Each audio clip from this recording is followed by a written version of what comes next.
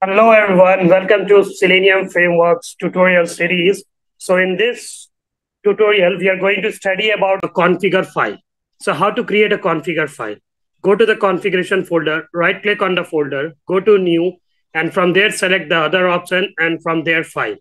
Once the file is selected, then name the file as config.properties. Dot properties is the extension of config file. Now let's do this.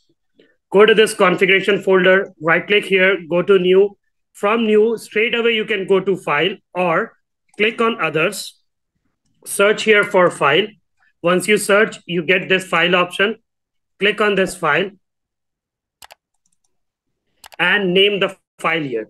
So the name I'm giving as config dot properties is basically the extension that I'm passing to this particular file. Now do finish. So once I to this folder, we'll see that. So basically I have driver here. This is my Chrome driver. So I'll copy this Chrome driver from here. I'll go here, right click, do copy this from here.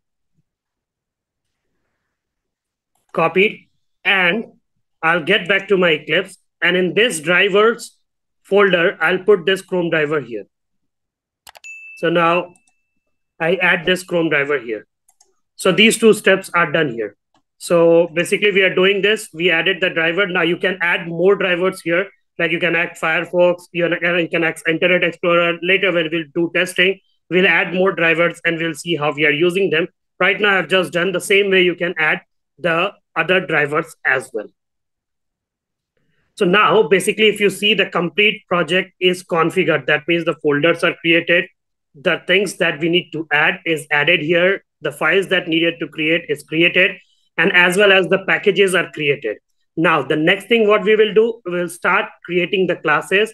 We'll start putting the datas in these files and see what these datas are used for, why we are putting these datas and why we are using them. We'll go through all of this next.